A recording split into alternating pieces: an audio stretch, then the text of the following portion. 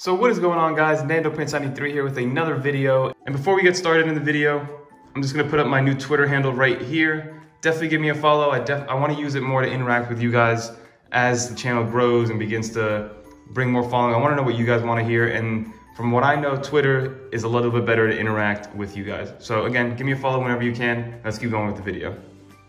And today is part two of the top 15 hidden iPad OS features October 2019. So we're just gonna hop into it. You guys already saw part one, which was the first five. This is gonna be part two, which is the second five, and then we'll have one more, part three, which will be the last five of the 15. So for the first one, so for the first one, it's a little bit better to use it on your iPhone than it is on the iPad because it's very rare that you're using GPS on your iPad to get you from place to place, but the feature is there and I like it. And you can also take a look when you're using it on your iPhone. So this works for Apple Maps, which I don't really use too often.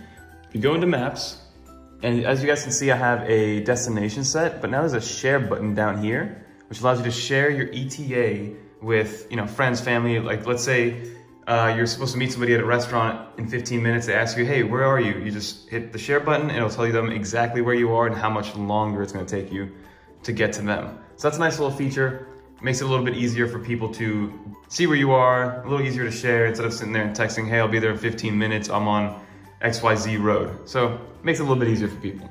Number two is a nice little security feature that Apple added for, for the mail application. And you can do this on iOS and do it for your phone also. So obviously I'm not gonna show the phone capability because this is an iPad, but if you go down and go to the mail portion of the settings, there is now an option to block sender and it gives you options on what it on what it is. So if you if somebody sends you an email that you've never gotten before from from a URL that's never been shown, you have the option to do nothing with it, like let it go into your inbox, mark as blocked and leave it in inbox or it's totally moved to the trash so you don't even see it.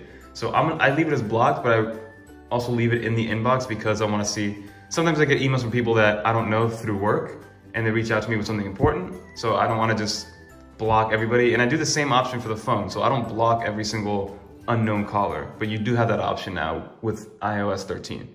Number three is right here, mouse capabilities, guys. So I've done plenty of videos and in a lot of other videos, I've had little snippets on mouse support, right? So I'm a big fan of Apple's or iPadOS's new mouse support. This is my MX Anywhere S2. I highly recommend it. It's about 50 bucks. In my opinion, it's the cheapest high-end mouse that you can buy. The only downside to it is the micro USB to charge it, but other than that, I love this mouse, right? It lasts, I said five years in another video, somebody corrected me, it does say 70 days, but as you guys can see, it's still at 50%, and I've never charged it, and I've been using it for a few months now, and it's been stuck at 50% that entire time.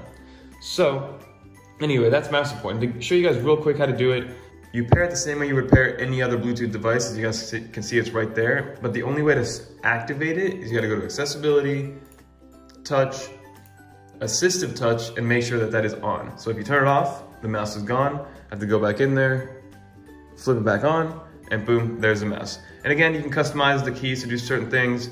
For instance, I have this to go volume up and down. This button right here takes me all the way home. As you guys can see, and they're very customizable. And this mouse, for instance, has a nice scroll wheel, which works with some iPad apps, as you guys can see right there, and it knows where on the screen you are.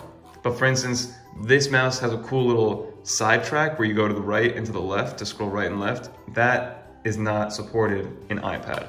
So there's a few things you're gonna have to sacrifice when it comes to using a mouse.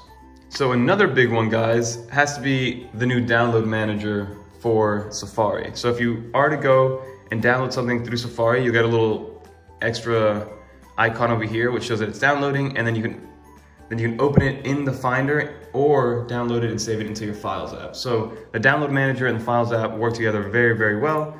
And I'm a big fan of how it all came out. And it gives you, again, that idea of this is becoming more and more like a laptop replacement and you can unzip files within the Files app and you can do a bunch of other nice little things, which is really, really awesome.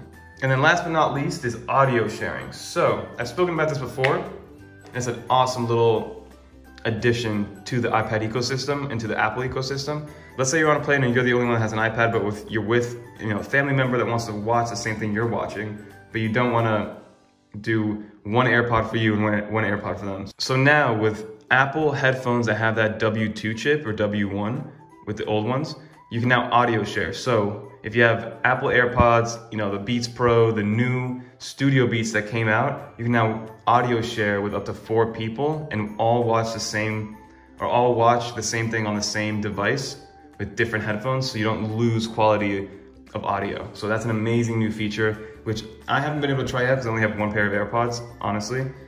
And I don't have a second one just laying around. So when that time comes, I will definitely do audio sharing and show you guys how it's done. But Ideally, you just go into the settings, hold it down, hold it down, jump into Bluetooth settings, and there's an option to audio share when you're watching a video. It's really, really easy to use and it's very, very useful. So I recommend trying it out, guys. So those are the five step or the five new features that I wanted to talk about in part two. So stay tuned for part three. Please don't forget to like, comment, subscribe. The channel's been going amazingly and I really, really appreciate it. And hopefully after this video, I'll be able to finally do my video of how much a small YouTuber makes with 2,000 subscribers. You guys have been wanting to see it, and I'll definitely show it to you guys. But that's gonna be it. Until next time, peace, guys.